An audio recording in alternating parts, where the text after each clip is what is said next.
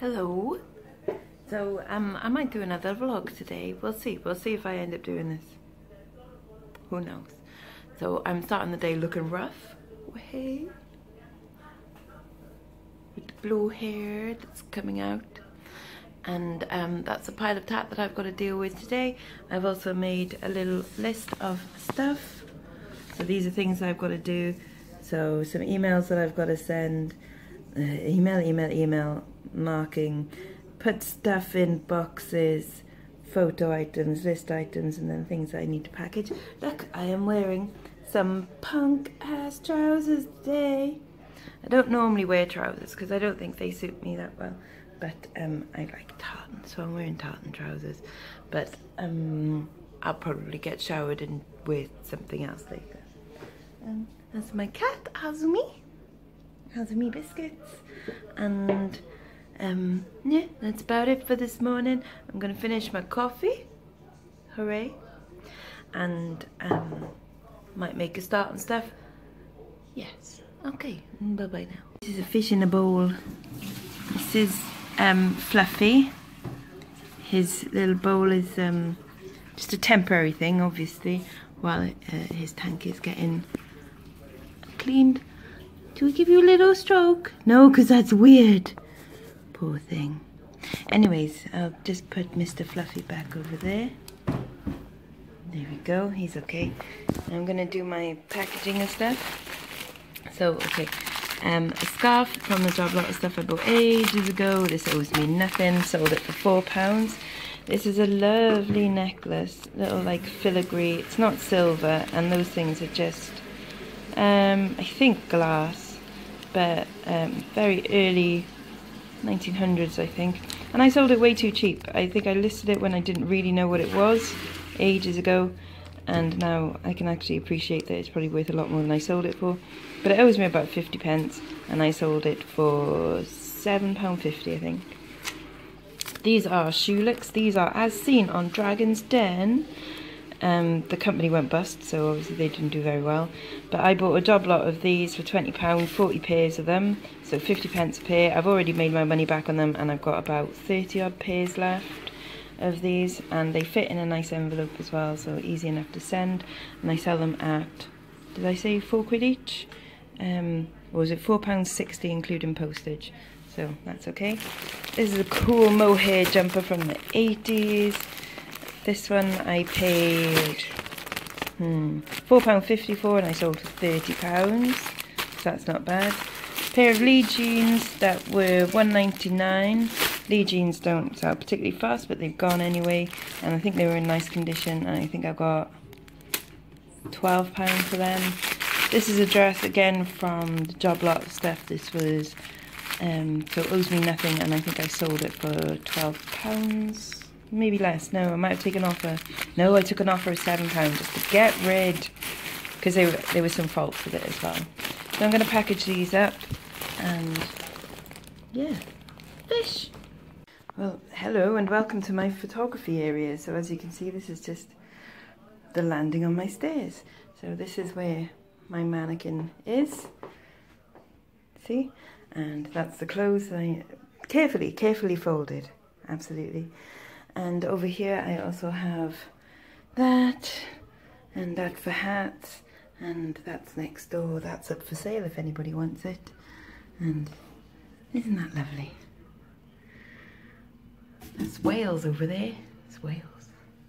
It's great, isn't it? That's a duck. Okay. So, if you're wondering how I do photos, which I'm sure all of you are on your the edge of your seat to know, I will take one photo from this angle and one from this angle. And one from this angle. And one from the back as well. And I will also take a photo of the uh, care label inside and if it's still got it the label at the back of the neck as well. Ta-da! Oh I just I just wanted to stop and, and kind of show this little this lovely little um, kind of tunic dress top thing that I got. It's 100% silk and I bought it for 1.99. And I think this is superbly lovely, isn't it? I mean, look at these fantastic sleeves. They're awesome. Someone's going to look well cool in that. Festival, hashtag festival. Nice keyword, Karen's keyword. I steal it from her. Um, this is how I'm doing this pair of uh, Levi's dungarees today, is I'm putting them on the actual mannequin. So on that leg there, that's where the pole is running through. These are a size 18, so they obviously look a little bit big on a size 8 mannequin anyway, but personally I prefer that to them being laid down because I don't have a lot of space to flat lay, especially things like trousers and stuff. Um, yeah, so this is how I'm doing this. And then these are some these are some Topshop wide leg trousers. That again I bought for 1.99. I think that looks alright on there actually. I'm photographing shoes today just on a plinth here. So um, I have got a photography area in my garage, but my garage is freezing cold and I don't particularly want to be there. So I'm going to use this. Why not? We all do things our own way, don't we? Right, well, philo uh, photography. That's not a word. Photography is pretty much all done. I've just got to go back through and edit the pictures on my phone. And then I think I've got drafts for most of them but some of them still need measuring and things. But that can be done anytime over the weekend. Um, although I probably still will do it today because I was going to go out tonight, but being good, I'm not going to go out tonight. I might stay in and do some marking instead. Thrilling. Um, this is my bedroom. Hmm. That's my doll's house. That's my lamp that's worth about £300 that we got from a skip. Hells yeah. And um, my bed, my favourite place. This is my book. This is a Christian Lacroix notebook. And in that, I started to do every night, just on a random page, I just write. And I write whatever's in my brain. And that doesn't have to be like creative thoughts or ideas for films or anything like that. It's just anything that's kind of um, been on my mind that day. I just write a sentence or two about that. And then I put it next to my bed. And then I can go to sleep having offloaded the things from my brains. Anyways, I might go and, um, or I should go and have a shower and get dressed and stuff. The plumber's coming round soon. It's not that exciting. Anyways, so yeah, I'm gonna go jump in the shower and get ready and maybe be on the Seller Ladies Live this afternoon if I can get my stuff together in time. Hello, I'm all um, showered and um, clean and things and I've just got my laptop set up because hopefully I'm going to join the Seller Ladies live. Unless they don't want me obviously. I didn't actually think of that. They might not want me then. Sorry ladies. Um yeah so I think in five minutes to go and I've got a coffee and some salt and vinegar peanuts which are amazing you should try them one day they're awesome so yeah hopefully you're going to be Live in five minutes. Woo! I mean, Tuesdays I tend to try and keep eBay free because I do a toddler group in the morning and then in the evening I also do a youth group. So basically I have the afternoon and that is it. So what I'm doing now, because I'm really rock and roll, is I do the housework on Tuesday afternoon. That's proper housework, not just washing up and that. I was doing. Well, that was nice. We just finished on the uh, reseller ladies live thing. That was a cool chat.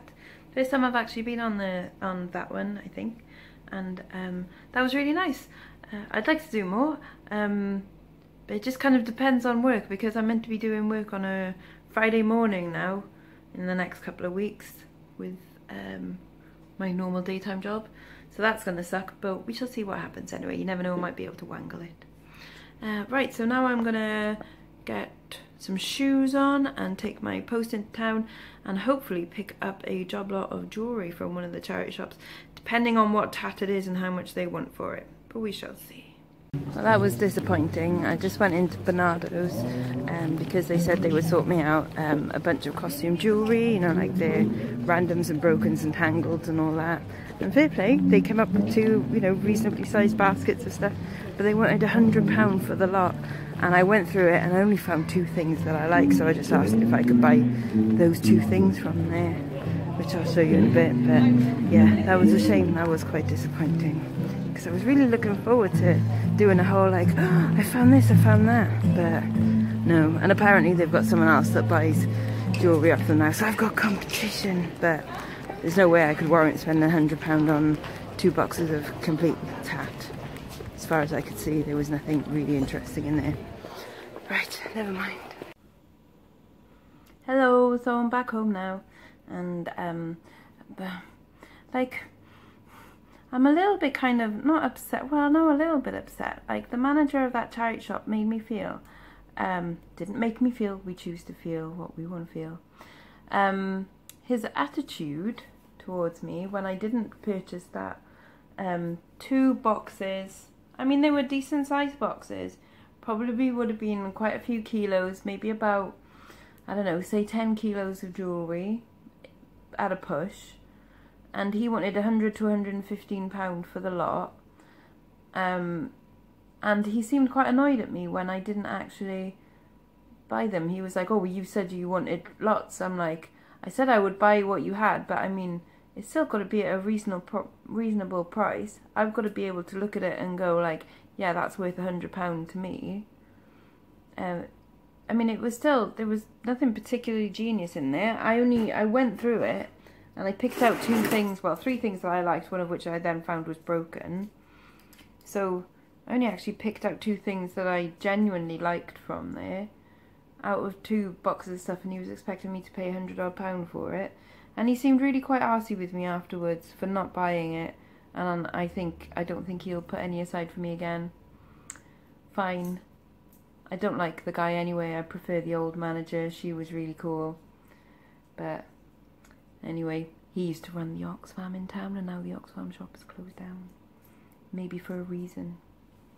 Anyway. Oh god, that was me being terribly bitchy. But, well, you shouldn't have been arsy with me. I was prepared to give maybe about £70 for the lot, but not like 115 It certainly wasn't worth that. Anyways, what I did buy was this chain, and I've had something very similar to that before. So that's quite cool, like a collar length one. And then I bought this, which bless them, they, they all thought was a ring. Um, it's not, it's um, like you put your lipstick in there, and then this is a little compact mirror, so you can do your lipstick it should be by Stratton, but I can't see Stratton written anywhere on it. But that is definitely like something that they would make. But I thought that was cool. So I bought them off him. I also bought, this is quite cool, this big rainbow poncho thing for one ninety nine. I like that one. Not sure if it's, it feels like wool, it probably is at least some percentage wool. Let's see. 28% wool and 72 acrylic. Quality stuff. And I bought, I spent way too much on this. I shouldn't have. I spent 4.99 on this. But it's a Doctor Who tin. It's the anniversary, 63 to 93. And it's got a booklet and some figures, figures in original plastic. So they're like they're themselves in really good nick and everything, but I definitely spent way too much on that. That's not worth it. I think I just got excited by a tin, because who doesn't get excited by a tin? I don't know. Maybe it was like the guilt of not buying the other stuff that made me spend a fiver on this.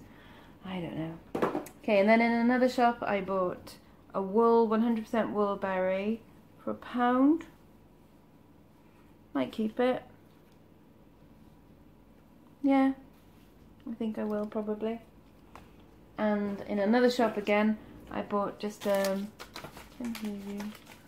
a wooden tray for a pound. Just a little lap tray, which I might keep because it's kind of useful. But then so is everything, so I could just keep everything. God, I'm really kind of annoyed at myself. Why am I annoyed at myself? Jeez. Um, and then for 1.99, I thought this was really cool. I think it's cast iron. Um, with little chickadees on the top. So a little egg holder. Proper heavy. That was one ninety nine. She was literally just pricing it up as I was in the shop and I was like, yoink, I love that, thank you. You're coming home with me. But I think that's dead cute. That might be, end up being kept as well now. Yeah, so I, I don't know. I don't, for some reason I'm, I'm that has really quite upset me this afternoon.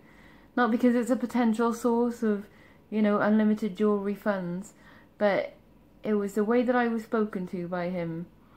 Um, yeah, like I really quite begrudge that I was willing to spend money on stuff, but I don't like being ripped off or being, you know, made to feel like I should give them that money because, anyway. God, that's going to be a proper downer. I can't end the vlog on this because that's a real downer. I want to end it on something nice. I'll think of something nice to tell you guys or show you guys and I'll come back in a bit once I've I need a cigarette but I'm not going to have a cigarette. It's all good. Hello so before the light fades a little bit the light is fading outside. Hmm. such a great view isn't it that Texaco garage?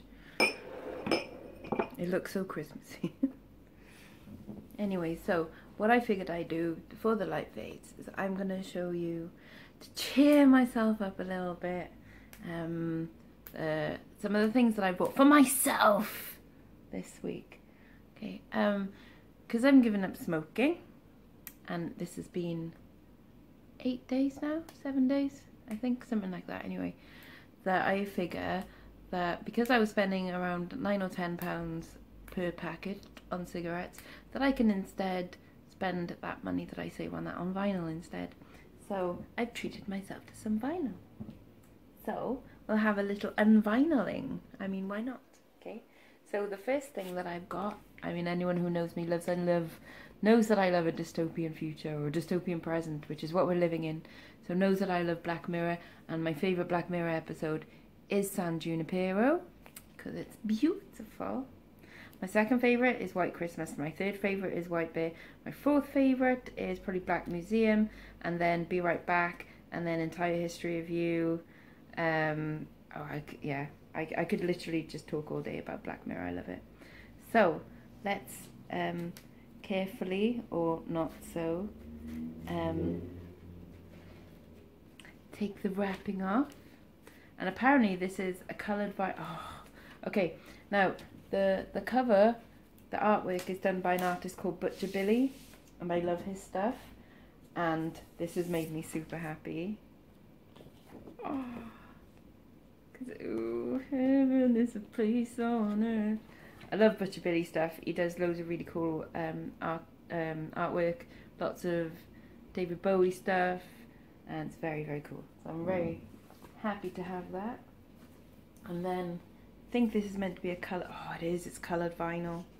How sexy is this? Wow. Wow. That is beautiful. That is so pretty. So it's not, um, this is the soundtrack by Clint Mansell. Mansell? That's his name? Clint Mansell. So it's the, like the music in between the tracks, if you see what I mean. So it's more the incidental music, which is awesome. I don't think you can buy, you know, the track with, you know, the soundtrack with Belinda Carlisle and all that on it. There's unofficial ones that you can get on Spotify instead, which is what I've done. But yeah, I love that. I love that artwork. I think that is beautiful. Okay, next bit of vinyl is a classic from the 90s, one of my all-time favourite albums, which is Portishead Dummy. I'm trying to. I'm not replacing all of my albums that I've bought with the vinyl versions because that's just silly. Because I'll be here forever. That's ridiculous. But albums like this one are ones that I regretted not buying on vinyl when they first came out. So now I'm doing it because they really do suit being on vinyl. So there you go. That's the cover, and then inside we've got that. So those are all pictures from the Portishead like films that they made because they did their music videos like long films or short films really rather than long music videos stroke short films. This isn't a snazzy coloured vinyl, this is just your typical black vinyl. I don't know what we expect from that. There we go, ace.